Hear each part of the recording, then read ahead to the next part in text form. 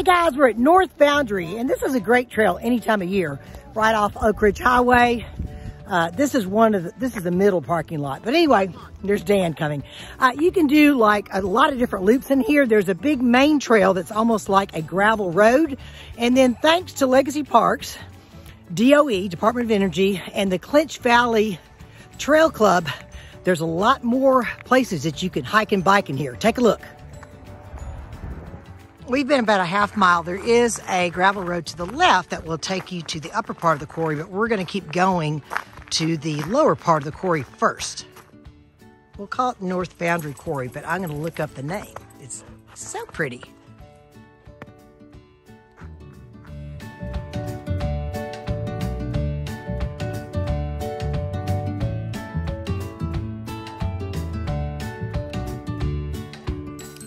Just popped out off Gallagher on the main drag, and now we're heading to Sinkhole.